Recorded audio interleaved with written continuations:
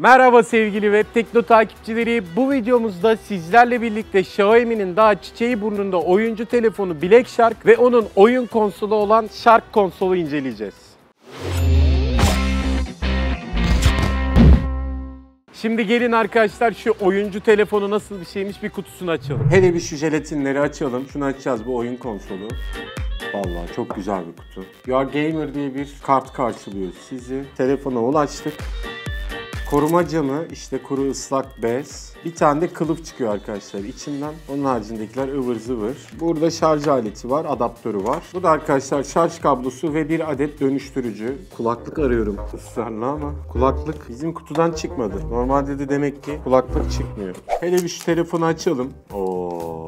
Gayet kallavi bir görüntüsü var. İşte ses açma kısmı, tuşları, power düğmesi. Arka kapak oldukça karizmatik. iki tane kamerayı görüyoruz. Bir adet flash var. Detaylara geleceğiz arkadaşlar. Şu telefonu bir açayım. Ya logo gerçekten çok şekil.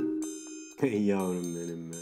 Hatta Çince de geldi. Full ekran şu an Çince. Şimdilik bu bir dursun. Şu oyun konsolunun da bir açılışını yapalım. Nasıl takıldığını gösteriyor. Şunu şuraya koyalım da önümüzde dursun. Burada da oyun konsolunun kendisi var. Ya niye böyle komplike kutular yapıyorlar arkadaşım ya? Sonra yırtıyoruz yırtılıyorlar ya. Hah evet kutuyu buradan açtım ve kutuyu buradan açmamın hiçbir anlamı olmadı. Allah Allah. Bu çıkıyor mu ya burada? Ha çıkıyormuş. Evet.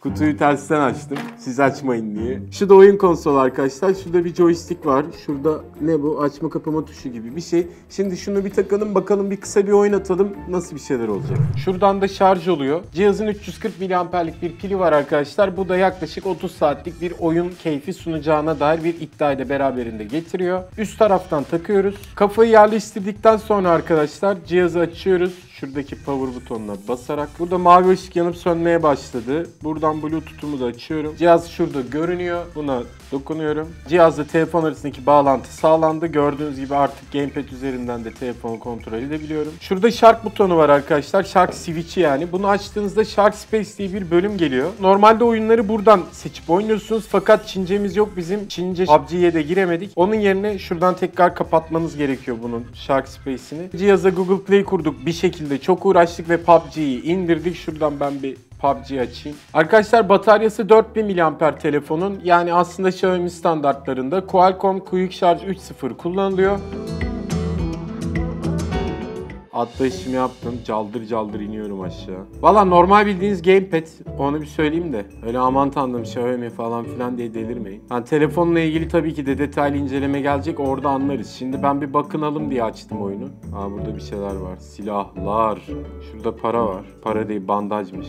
Dağlara taşlara sıkarım. Karşıda bir tane Can Cincon görüyorum. Arabayla kaçıyor. Ateş ediyorum ama gel buraya kaçırdık. Yani arkadaşlar normal bir oyun konsolu. Cihazla ilgili daha fazla detayı tabii ki de Lütfi size derinlemesine incelemede aktaracaktır. Bir dış ses deneyimini merak ediyorum. Normal bir telefondan çok daha iyi.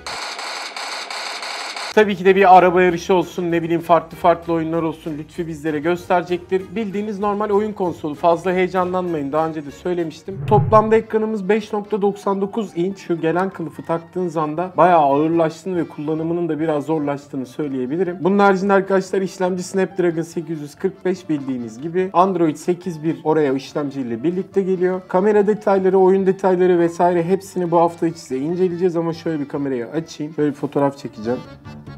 Şöyle ışığını da fulllediğimde yani kamera detaylarına Lütfi mutlaka değinecektir. Şöyle bir ilk izlenim olarak fena değil. Biraz pastel duruyor. Şöyle bir de ön kamerasına bakalım. Beni görüyorsunuz.